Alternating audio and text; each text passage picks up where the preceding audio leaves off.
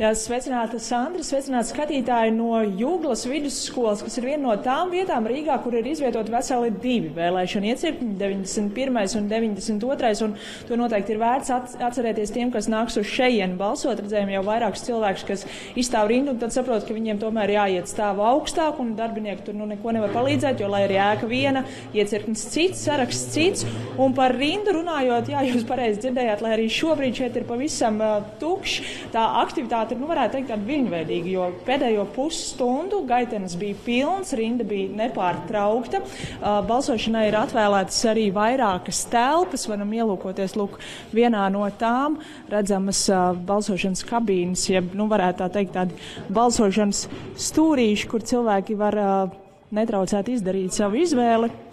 Un tad tepat arī Nu, viens no svarīgākajiem vēlēšanu objektiem - vēlēšanu urna. Redzam, kā tā pamazām pilnā, pildās. Uh, kā tad izdarīt tās savas izvēles? Parunājāmies arī ar vairākiem cilvēkiem, kas pameta balsošanas iecirkni. Protams, atbildes ļoti dažādas, bet tas, kas viņus visus vienoja, šajās pašvaldību vēlēšanās cilvēki lielākoties izdara savu izvēli balstoties uz konkrētiem cilvēkiem, uz, nu, varētu teikt, partiju sejām, mazāk vērtējot partiju programmas un to piedāvājumus. Un lūk, jums neliels video ieskats cilvēku teiktajā. Nejautāsim, par ko balsojāt, bet uh, varbūt varat atklāt, grūti bija izvēlēties. Nē. Zinājāt jau pirms tam? Jā, es nācu jau zināju, ko balsošu. Kas bija tie kriteriji, pēc kuriem vērtējāt? Partijas programma vai cilvēki svarīgāki? Nebija vērtējumi. Vienkārši balsoju par ko es zināju, ko es gribu balsot. Vienmēr par šo partiju? Jā. Nu, jau pēdējos gados. Kā jūs sauc? Remans. Vai bija grūti izdarīt izvēli? Vispār nebija viņš nekāds.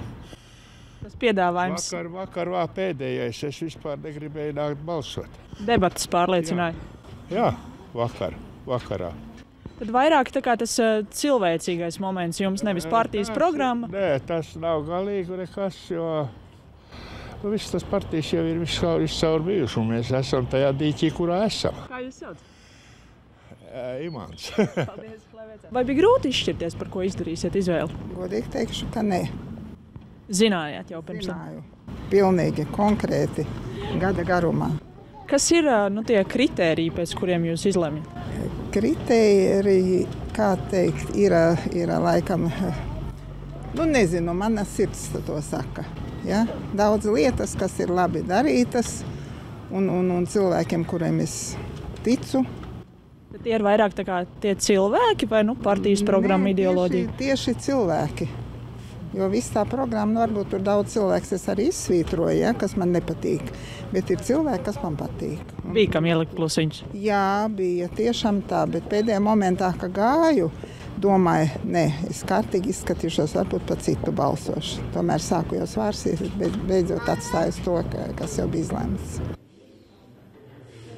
Jā, to neredzējāt, bet vēl pirms neliela brīža vairāki nu, tādi mazi topošie vēlētāji, sekojot savu vecāku, piemēram, arī vēlējās ievietot liekās vēlēšana zīmes urnā. Viņus abus visai neapmierinātus aiznes projām. Protams, viņi to vēl nedrīkst darīt, bet varbūt izmantojiet jūs savu iespēju to, ka jūs to drīkstat darīt un aiziet un izdariet izvēli šodien un atvieglosiet dzīvi sev un arī vēlēšana iecirkņu darbiniekiem.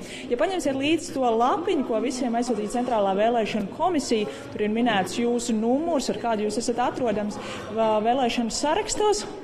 Un Tad, ja gadījumā veidojas rindas, kas daudzos iecirkņos notiek arī šeit, tik pa laikam ir pamatīga rinda, kurā ir diezgan ilgi jāstāv, tad visiem būs jāstāv īsāku brīdi, arī pašam būs mazāk jāgaida līdz tiksiet līdz balsošanai. Bet mēs tagad atgriežamies studijā, Sandra.